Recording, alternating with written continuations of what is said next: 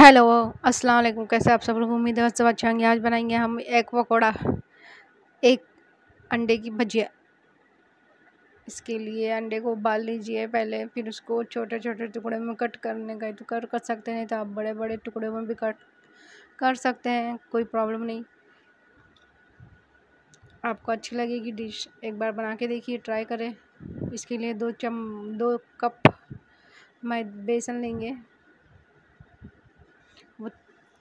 तीन अंडे उबाल के उसको मैंने कट कर दिया। फिर जीरा पाउडर, गरम मसाला, लाल मिर्ची और चिली फ्लेक्स, तीखा जैसा आप खाते वैसे हिसाब से लीजिए। फिर ब्लैक पेपर, नमक,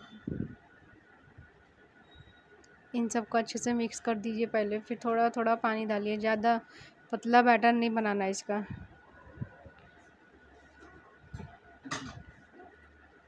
फिर इसके अंदर स्लाइस करा हुआ प्याज डालिए।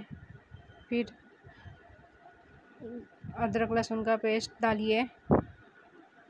और अच्छे से मिक्स कर दीजिए इसको। ऐसी पतली, ना ज़्यादा पतली, ना ज़्यादा घट।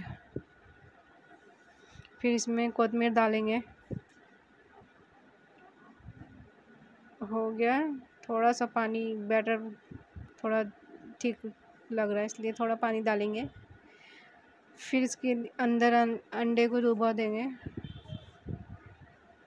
ऐसा डिप करिए और तल दीजिए। मीडियम गैस पे तलिए और ये अंडे तलने के टाइम थोड़े फुटने फुटते हैं इसलिए आराम से तलिए इसको और दूर रह के। फटफट आवाज़ आती है इसलिए सावधानी से। और लाल हो जाने के बाद निकाल दीजिए और खाइए टमाटो सॉस के साथ, नहीं तो चटनी के साथ। आपके पास जो भी चटनी हो, उसके साथ भी अच्छा लगता है। इफ्तार में बना के खाइए और मेरे चैनल को लाइक, सब्सक्राइब। मेरा वीडियो पूरा वॉच करिए। Okay, bye.